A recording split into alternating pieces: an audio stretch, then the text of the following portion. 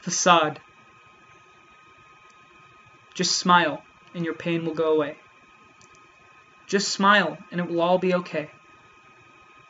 Don't show them anything is wrong. Put a mask on your face. They only see the feelings you show. Who cares if they're fake? Shocking, isn't it? That people actually think this way? But the reality is, we all hide our true state.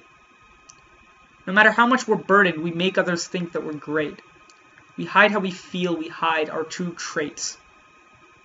Which is fine to some extent. We don't need the whole world to hear us repent. It's okay to keep things private, the things that we resent. But the point of me saying this is to highlight the message that this sends.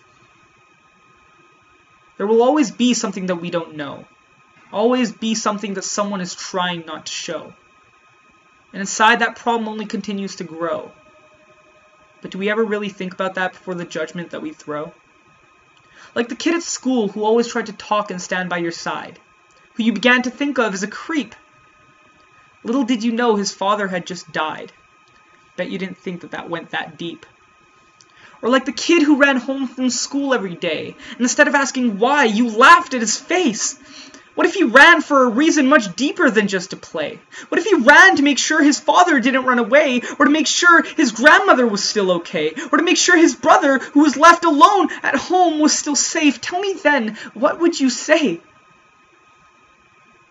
Well, then, you would probably feel bad, would you not? The problem dove much deeper than you had thought.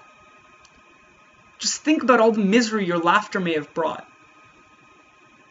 Now, what if I told you that this actually happens a lot? We all have some shit going on in our lives, but we wear a facade and use it as a disguise to hide our true feelings so that the stress does not rise. Everybody does this, and if you say you don't, you lie.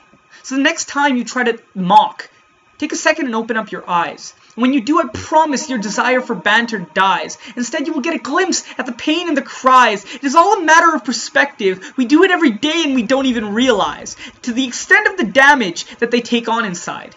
Isn't it funny what a simple smile can hide?